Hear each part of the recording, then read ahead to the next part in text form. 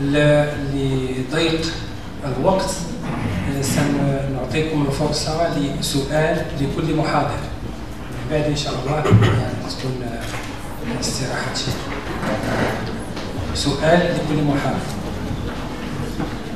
سؤال واحد.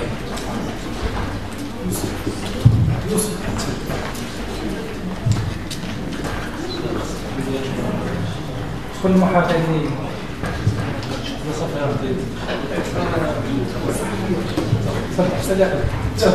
طالب في الصحافة صحفيا متمرسة في الصحافة السلام عليكم آه، سعيد جدا بحضوري في هذا المؤتمر وانوه بطبيعه الموضوع واختيار الموضوع آه، وصراحه الله مشكل لأن الصحفيين ما عندهمش تكليف باش الطبي داك الشيء علاش باش اختاريت أن نسول الصحفيين نظرا لطبيعه طبيعة العلاقة بيناتنا وممارسي المهنه آه، العرض اللي قدمته الصحفية كان عرض جيد جدا ولكن إذا سمحت سيدتي الكريمة يعاب عليه شيئين اثنين. المقاربة العددية المتمركزة في العرض يعني اختصار كل ما يتعلق بالمعالجة الإعلامية والصحفية لقضايا الصحة في المقاربة العددية. كان كان لزاما عليها أن توضح لنا كيف تتعامل وسائل الإعلام التي اختارتها في العرض مع القضايا الصحية على مستوى التناول الإخباري وعلى مستوى استعمال المعلومة وعلى مستوى مصادر الخبر وتقديم حلول وبدائل آه، كفيلة بكيفيه الارتقاء بالممارسة الإعلامية والصحفية في مجال تحليل قضايا الصحه. ثاني نقطة آه، هي آه، ماشي سؤال هي ملاحظه. باش تعطيها باش تعطيها حق الرد آه حق ردي على السؤال. شكرا.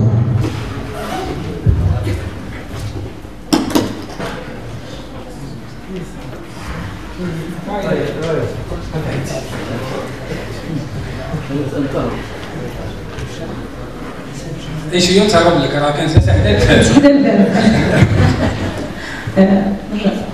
هي بحق ملاحظة ما كانش سؤال. كانت ملاحظة على العرض هو الفكرة اللي قال السيد مهمة هو أن نبغي مقاربات ولكن الموضوع العرض كان هو هذا دراسة ميدانية حول عدد من الصحف من أجل دراسة القضايا التي تتناولها.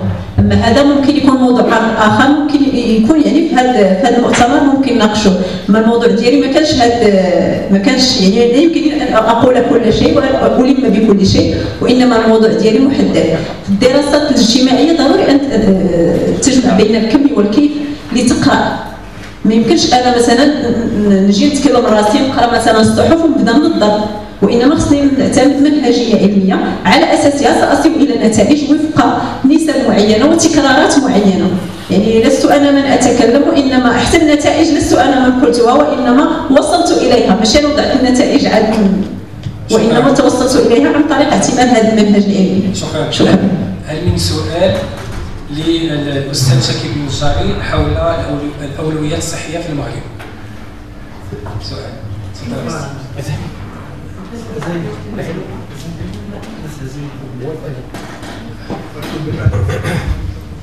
السؤال بغينا سؤال لكل محاضر سؤال للاستاذ لا نوضح لي واحد المعلومة. قال الأستاذ بانه هناك شك في الولوج إلى إلى إلى الحق الصحي. الحق الصحي راه موثق في الدستور في 2011 في الفصل آه، في الفصل 31 شكرا. شكرا. سؤال ما كاينش جواب ما كاينش. جواب سؤال الأستاذ نجار.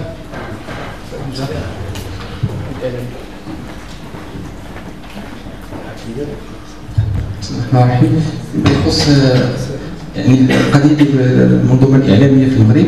يعني خلال وزارة الصحة ووزارة وكذلك آه، يعني ما قدمه الاستاذ المجاري على غرار ما يقع حاليا في القنوات الإعلامية المغربية فيما يخص الرياضة والمزاريه واذاعات السادس فلماذا قناة خاصة بالإعلام الصحي تكون في التوصيات ديال المؤتمر لأن هذه الفكرة هي قديمة.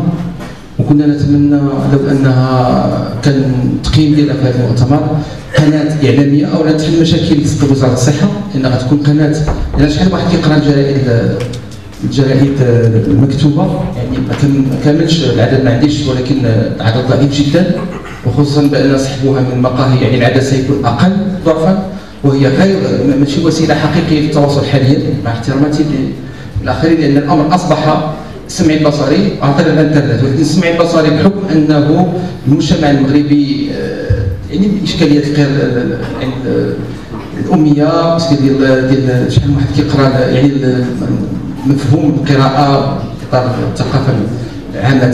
فأظن أن قناة خاصة بالصحة خصوصا هذا الشيء ما يقع في المغرب ستكون لها خصوصا مع تواجد مجموعة كليه جميع جميع مناطق المغرب سيكون لها يعني يعني دي كونسيبت اثار ايجابيه الله شكرا راني كاتبها هنا ضرورة تخصيص إذاعة وتلفزة مختصة في الصحة. آه، ستعيد حتى وزاره الصحة في المقاربة الإعلامية ديالها فكرة هائله لا ماشي فكرة ديالي فكرة قديمه جدا. للأسف ما كانت رائجة. كانت رائجه آه سؤال حول التواصل في حالات الأزمات الصحية. ايوا أستاذ ولا الاستاذ ها؟ سمحتي له الله يجازيك بخير تفضل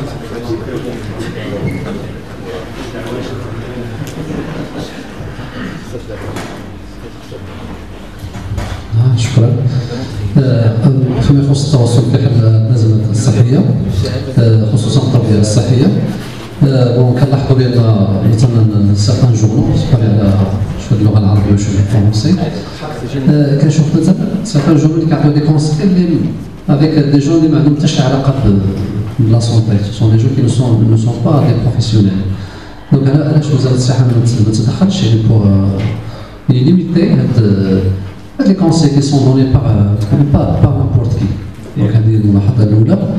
الملاحظة الثانية اللي bon كتصب في الصالون ديال واحد une chaîne بحال بحال شكل ديال فرونس اللي كتلقاو مثلا la chaîne ديال فرونس 5 كاين واحد واحد البرنامج ديال magazine de santé وكاين des professions de santé des médecins généralistes والناس يتبوز des questions par téléphone voilà comme ça parce que دابا اللي كنشوف la plupart دابا ديال les problèmes ديال la santé في المغرب c'est الجهل حنا comme profession de santé je suis médecin fonction التليفون ديالي ما كيوقفش avec n'importe qui mais n'importe comment n'importe où n'importe quelle heure allô كيضرني راسي اش ندير allô voilà شنو هادي شنو ناكل شنو ما ناكلش donc اللي كنشوف أنا donc la plupart ديال les problèmes c'est le manque ديال l'information donc بحال هاد la chaîne زعما mais ça peut يعني donner nos solutions لهاد les problèmes merci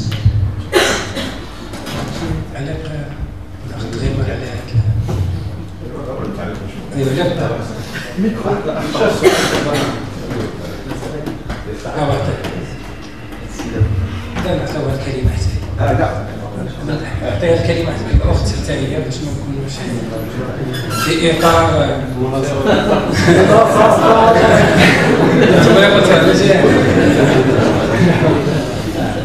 التي يمكن ان توصل لأقل بما أن عطيتيني الكلمات أنا غادي نكون مداخلتي بشكل مختصر جدا. غير بالنسبة للمداخلة ديال الأستاذ عبد الغني دغيمر دوا على المدخل المفاهيم الأساسية للتواصل في حالات الأزمات الصحية. أنا سؤالي ربما ذو شقين الشق الأول هل وزارة الصحة لها استراتيجية واضحة خاصة في هذا مجال التواصل خلال الأزمات؟ والسؤال الثاني ما هي الاختلالات والصعوبات التي تجدها وزارة الصحة؟ آه، آه، وذلك آه، القسم الذي تمثلونه هل هناك اختلالات خاصة بالكونتكست يعني السياق المغربي؟ وكيف تعالجون هذه الاختلالات؟ وشكرا. شكرا.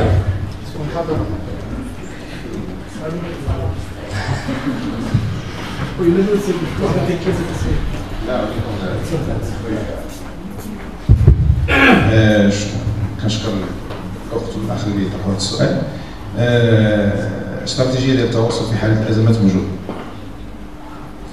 اللي كيهمنا ماشي هو الاستراتيجيه اللي كيهمنا هو الاجراءات واللي كيهمنا هو كذلك شبكات التواصل اللي قدرنا نربطوها انه واحد النوع من الثقه ما كانش موجود وزاره الصحه مع وسائل اظن لا انت الاخت صحفيه صحفيه ماشي صحفيه من هذا من هذا الباب. بالطبع كاين كاين إكراهات. من ما بين الاكراهات ما بين الإكراهات أنا ذكرها الصديق ديالي على أنه كاين واحد النوع ديال آه، كاين بعدا القراءة الصحفية في المغرب ضعيفة بزاف.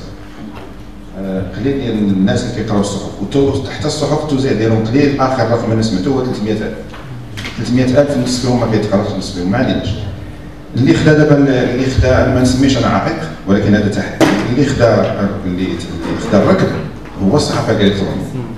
الصحافة الإلكترونية الآن ولا تقريبا في يعني في التليفونات ديالهم ف يعني هذا معطى مهم. إحنا كنتعاملوا معه بطريقة كنواكبوها حسب التطور. ثم كاين كذلك ما غنسميش أنا الجهل سمح لي الاخ ما نسميش أنا الجهل غادي نسميه واحد النوع من آه، كيسميوه ضياع المراجع كيسميوه آه، آه، الأمية العلمية. الأمية العلمية. أو أو نوع من ضعف الوعي بمعنى أنني أنا الآن آه، أمي في أمي في مجالات أخرى. أنا اطرح لكم واحد السؤال وغادي باش غادي نجاوب على الموضوع. كم منكم ما كان نتكلم مع الصحفي كم منكم يفهم أسرار الابناك والمعاملات المالية. لا ماشي قناه القليل القله من الصحافه آه، الاستاذه كتمثل وزارة الاتصال يمكن غادي تعطينا أحسن آه، أحسن آه، يعني تفسير هذه الوضعية.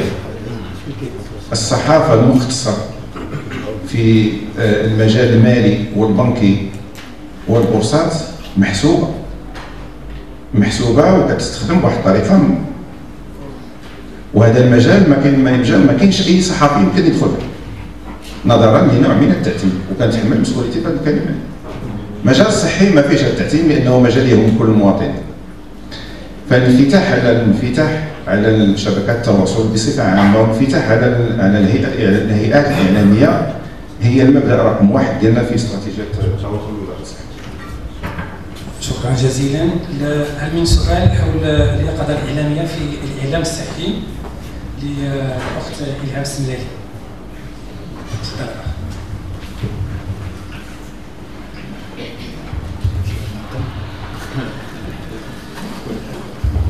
بسم الله الرحمن الرحيم. آه، شكر الله الاخت آه، إلهام مداخلتها القيمة.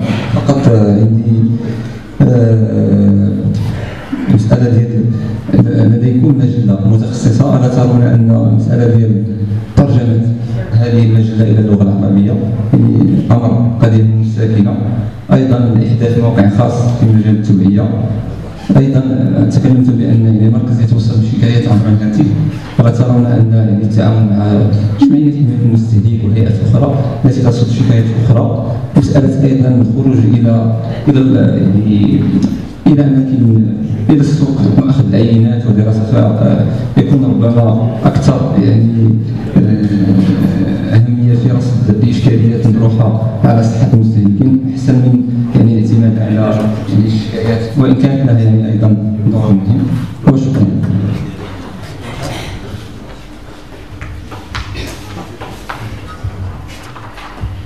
شكرا للأخ. بالنسبة لترجمة آه، ما يجيء في آه، المقال آه، أخذت على نفسي عهد القيام بهذا وربما يعني إصداري في المجلة الصحية. وقد أخذت موافقة مديرة المركز وهذا هذا مثال لأن ترجمت عدة معطيات وترون أن المراجع كلها آه، من المجلة. لأن لما أجد مرجع مر- مرجعا في هذا المجال آه، من غير آه، ارتكزت على المعطيات ديال المجلة. آه، فيما يخص الخروج ل- ل- للقيام بتعيين معينة. في مجال الاعشاب قمنا بذلك. آه، في بعض الأحيان نقوم بهذه الإجراءات. كمثلا لما توصلنا بمشكل شيرلي ذهبنا للأسواق ورأينا ماذا يروج وذهبنا ل- لعيادات مختصه وراينا ما هي الحالات. آه، في بعض الأحيان آه، نقوم بذلك. آه، كذلك آه، نخرج إلى ال- المجتمع للتحسيس. نقوم بكثير من بعمليه التحسيس. لدرجة أن المجتمع يظنوننا أننا جمعية ليس مصلحة تابعه للوزاره سؤال الهاتف كل يعني لا المتخ... لا مهني الصحة ولا المواطنين لهم الحق. الاتصال وكثير من يعني الناس العموم يتصلون بنا لاخذ استشارة أو لإبلاغ عن حالة التسمم وشكرا. أظن أنني أجبت على السؤال. شكرا مرة أخرى نشكر الأختين المحاضرتين والأخوين المحاضرين. على هذه المحاضرات القيمة وندعوكم لاستراحة شيء لمدة 20 دقيقة ونعود بعد قليل إن شاء الله. الأستاذ الكريم مصاص تفضل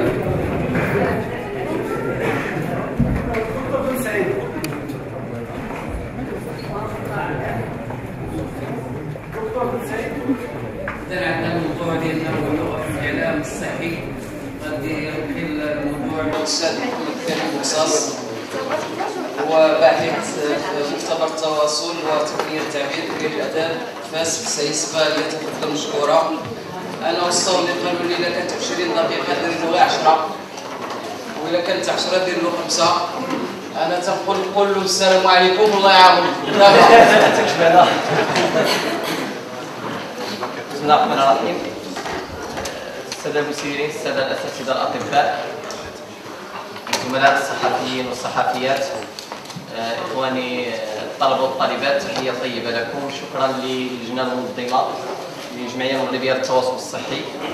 آه، بدون إطالة في التقديم ندخل إلى صلب الموضوع والذي يتناول عنوان المداخلات تتناول اللغة في الإعلام الصحي بالمغرب.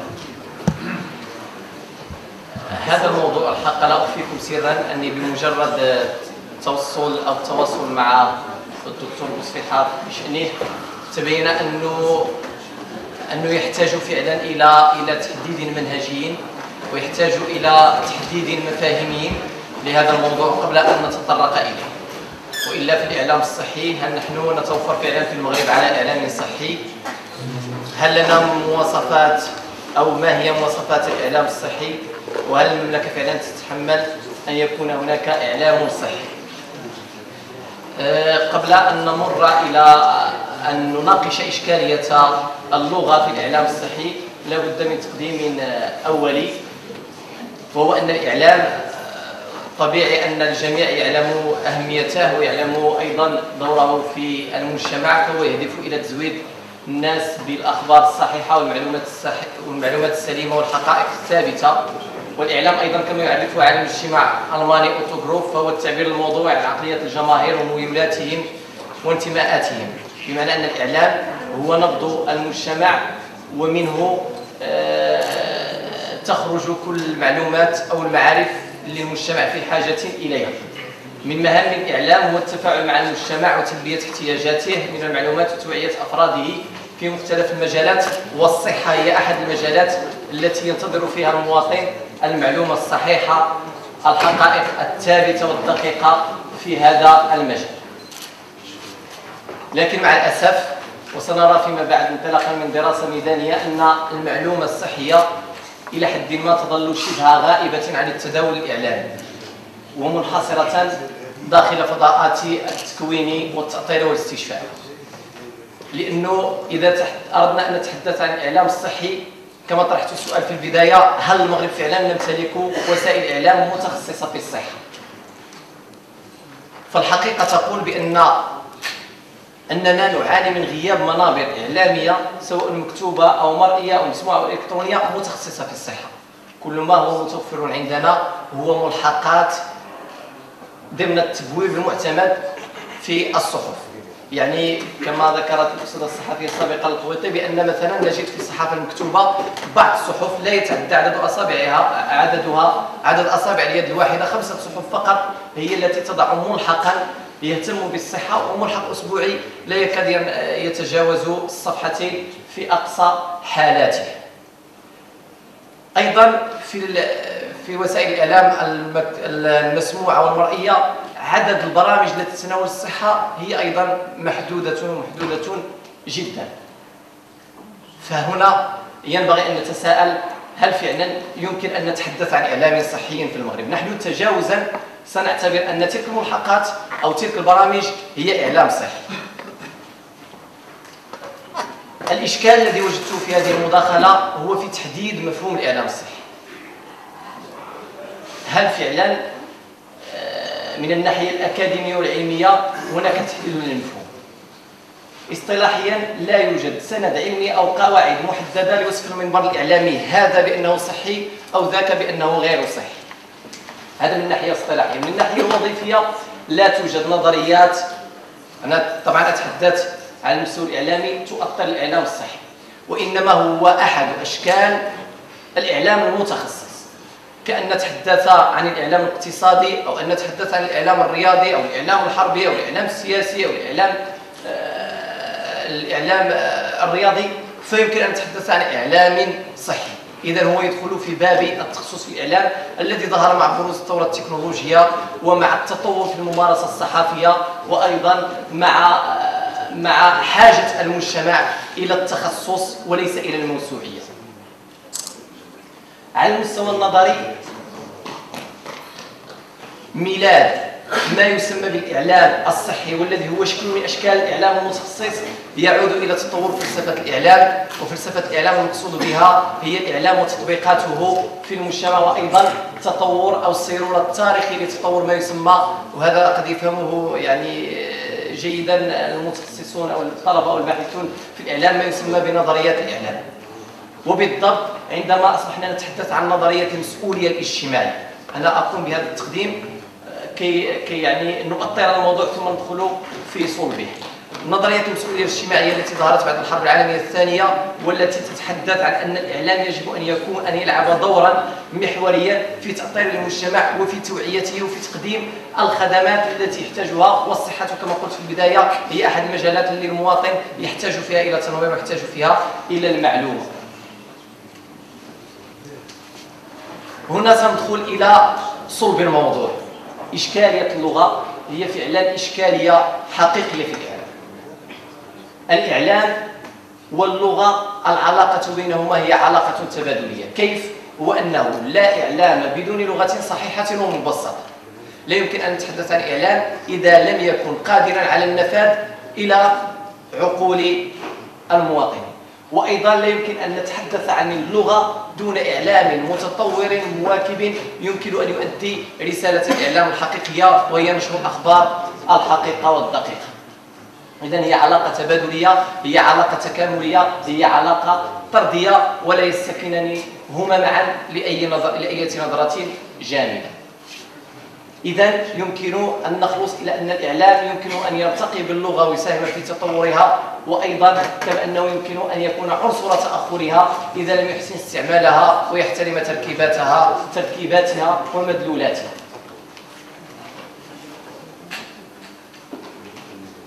هذه فكرة مهمة جدا لابد أن أشير إليها هو أن الصحافة في أصلها أو بأجناسها المختلفة هي ظهرت لتنقل المعرفة وتقدم المعلومة بلغة يفهمها القارئ البسيط والمثقف على حد سواء الصحافة ليست وسائل تواصلية نخبوية وإنما ينبغي أن تجد لها موطئ قدم سواء لدى المواطن البسيط الذي بالكاد يتعلم القراءة والكتابة وأيضا بالنسبة للنخبة أو المثقف المجتمع. وبالتبع فإن استعمال العربية والتي تهمنا استعمال اللغة العربية في الإعلام ليس المقصود به اللغة الأديبة أو اللغة يعني آه، الفصيحة جدا التي يصعب يصعب بها التعبير عن مضمون الرسالة الإعلامية الموجهة للغة إذا المطلوب فعلا هو أن تكون لغة وهذا أعتقد ما ما تدافع عنه الجمعية المغربية للتواصل الصحي أن تكون لغة خالية من الأخطاء سليمة من حيث التركيب والصرف وقادر أن يفهمها سواء المثقف أو الذي بالكاد يتعلم القراءة والكتابة كما قلت. والواقع أن دراسة اللغة العربية في الإعلام الصحي ينبغي أن تستحضر ثلاث معطيات أساسية. اولا أن مصادر المعلومات في المواضيع الطبية والصحية هي كلها أو في مجملها غير عربية مع الأسف وهي عبارة عن دراسات أجنبية. المسألة الثانية هو ضعف الترجمة في مجال العلوم الطبية.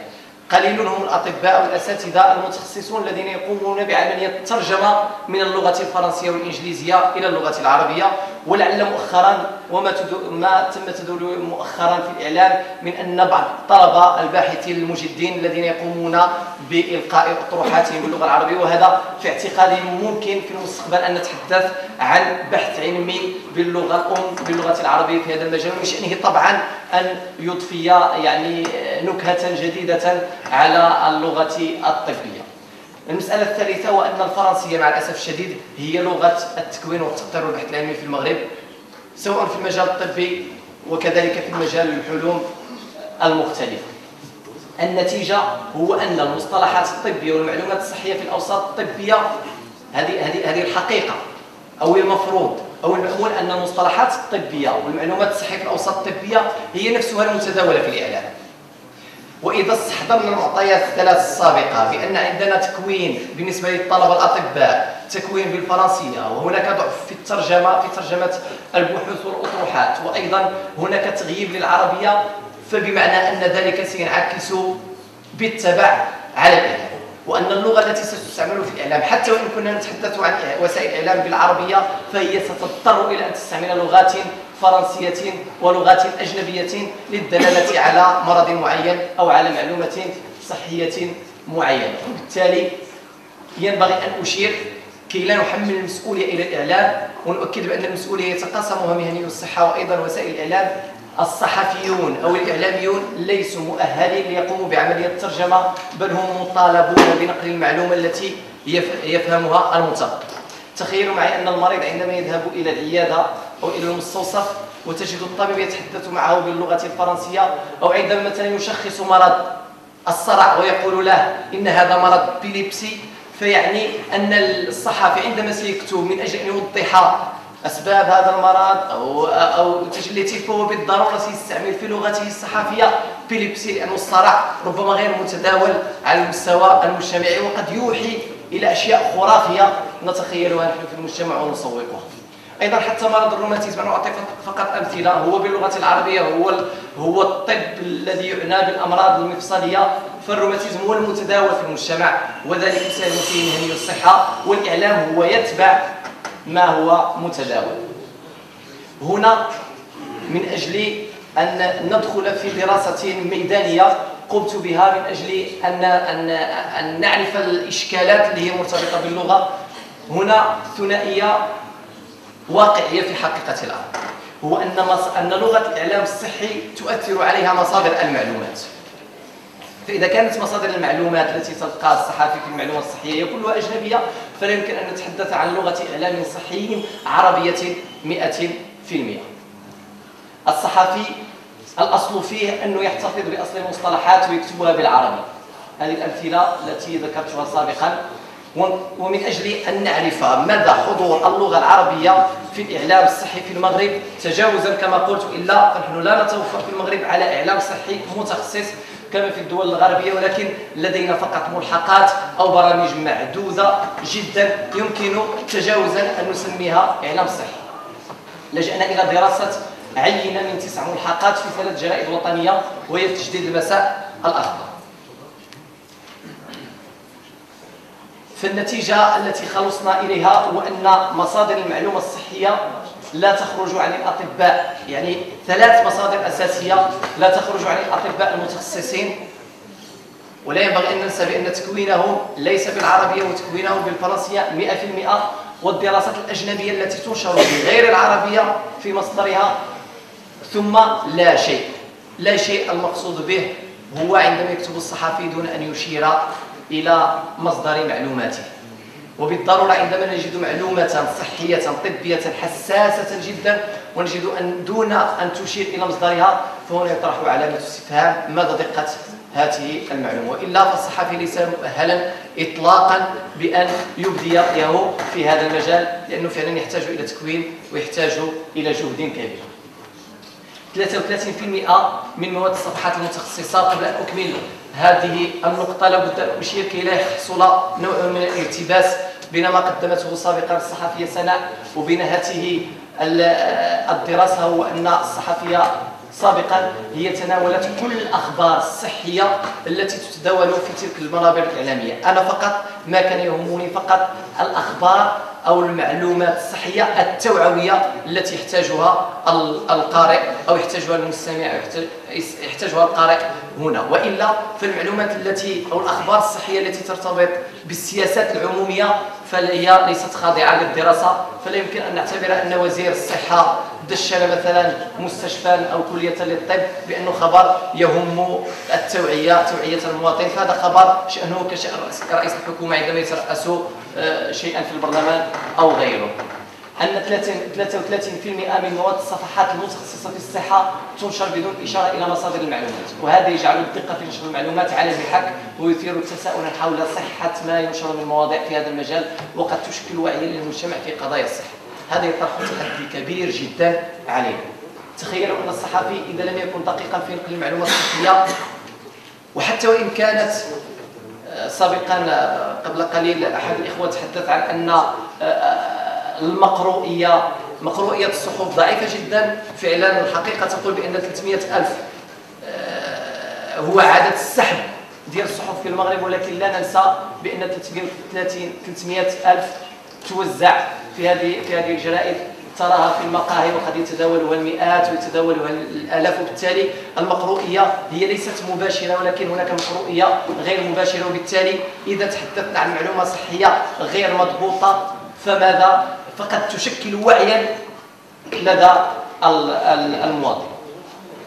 الخلاصة الثالثة هو أن الأطباء المتخصصين الذين يفترض أنهم مصدر المعلومة الصحية يشكلون مع الأسف الشديد أقل من نصف مصادر المعلومات. أنا في اعتقادي أهم مصدر ينبغي أن أن يسلكه الصحفي هو الطبيب المتخصص. هو وحده الذي يمتلك فعلا حقيقة المعلومات الصحية. لأن الصحفي كما قلت سابقا ليس مؤهلا لكي يقوم بعملية ترجمة لبعض الدراسات التي تنشر في مجلات محكمة أجنبية. وبالتالي خيط الوصل بين ما يقدم للمواطن وما أو القارئ وما هو صحيح فهو الطبيب المتخصص. ولكن مع الأسف الشديد أقل من نصف مصادر المعلومة التوعوية في المجال الصحي تسقى فقط من من الأطباء المتخصصين ونصفها ليس من الأطباء المتخصصين. وهذا أيضا يطرح تحدي آخر. إذا كان الأطباء المتخصصون هم تكوينهم بالفرنسية فيمكن أن يحدث هذا أيضا مشكلا